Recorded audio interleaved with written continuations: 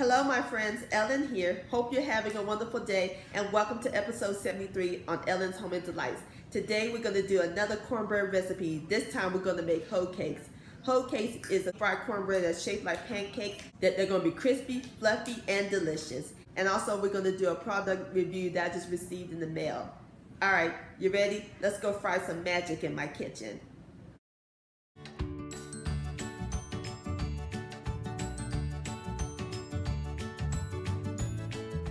Okay, earlier this week, I received the scale in the mail. It's from Amir. This was a come in Superior Mini Digital Platform Scale. And it comes with a cover when you open it.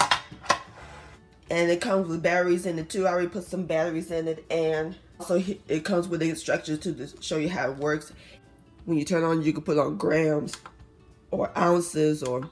So I'm going to measure my ingredients for my hoe cake and we're going to scale it.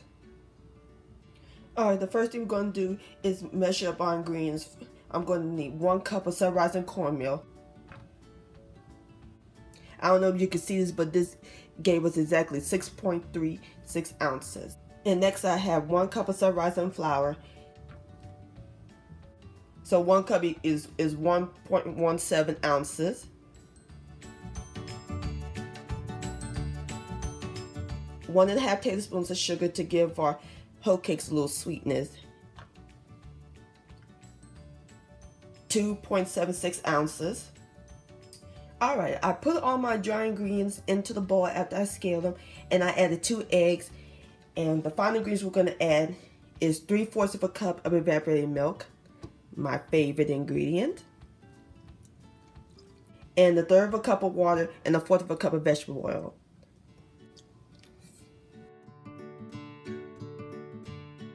And I'm going to mix everything together until it's nice and well combined.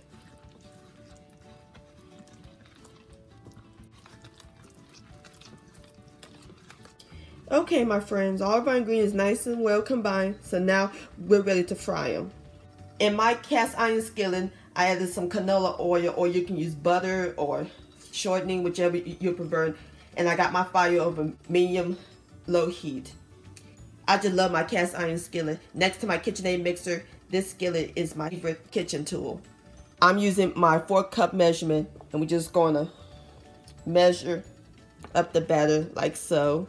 And we're gonna put it in the hot oil. And we're gonna cook them just like you do pancakes. Hear that sizzle? Yeah. Now you're talking, Mr. Pan. I'm gonna put a little bit more. All right, we're going to cook these until it's nice and light golden brown. All right, let's take a look. Wish me luck. Beautiful. All right, I'm going to go ahead and finish cooking my hoe cakes and I'll bring you back. Ladies and gentlemen, look at our beautiful hoe cakes. They're nice and golden brown. Now I put some butter on it and it slowly melts down in there. OMG.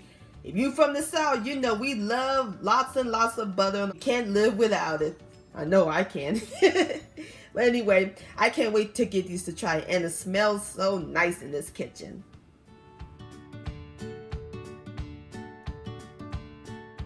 Alrighty, my friends, I fixed me up a plate. I got two on here, so I'm just going to drizzle some honey on here. Ooh, that looks delicious. And you can add syrup or more butter. You can put some fruit on it. Now this is what I call old-fashioned Southern comfort, just like your grandmother used to make. Alright, let's give these hoe cakes a try. Hmm, which one should I take? I'll take this one. Yippee! Look at that. Nice and yellow golden color. Mmm. All right, here we go. Mmm.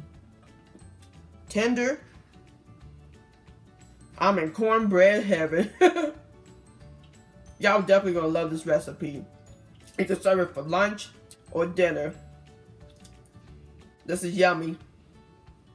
Well, my friends, this is an awesome scale. I recommend you purchasing if you're interested in purchasing the scale i'll post link to to amazon's website and to their facebook page and when you purchase it you will get a 40% off discount.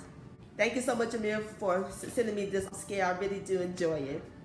And before I end this video, I want to give a shout out to my friend Martina over What to Cook Trini Recipes. She makes some awesome meals on her YouTube channel. She's from Trinidad and I just love her channel so much. I'll post a link to her channel down below in the description box and tell her Ellen sent you.